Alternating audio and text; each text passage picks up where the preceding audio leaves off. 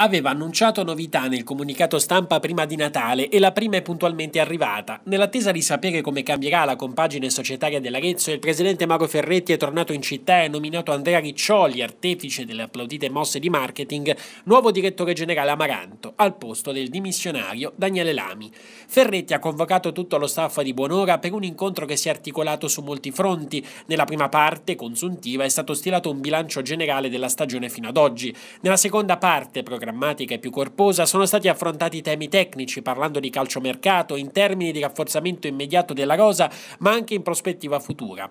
Ampio spazio dedicato al settore giovanile, per il quale sono state tracciate linee guida di lavoro molto serie e ambiziose, partendo dagli ottimi risultati fino ad ora ottenuti dalle tre squadre, la Berretti su tutte, unica squadra in Italia a punteggio pieno. Altro argomento discusso è stato inerente alla rivisitazione dell'organigramma societario, con revisione di alcuni ruoli e nuove entrate date. Il tutto sarà ufficializzato entro la prossima settimana, ma intanto il presidente Ferretti ha anticipato la nomina di Riccioli come direttore generale.